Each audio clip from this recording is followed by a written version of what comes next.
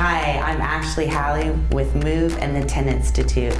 Today Keith is going to perform inchworms. Bring your hands to your hips and this helps to stabilize your pelvis as you hinge forward and fold forward. Bend your knees slightly so it doesn't pull into the hamstrings and walk your hands all the way out.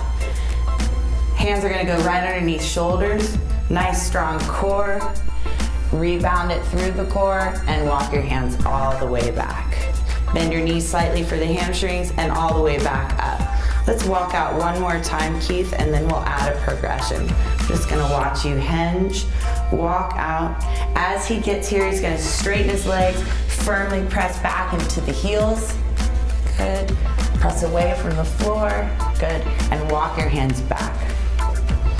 Once he's here, he's gonna engage his core, lift back up, and be nice and tall and strong. This one, let's step a progression into a push-up.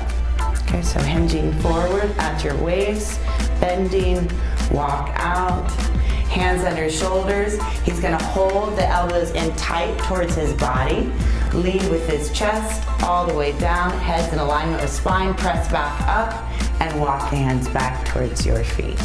Excellent. Hands to hips, and that is fantastic. Thank you.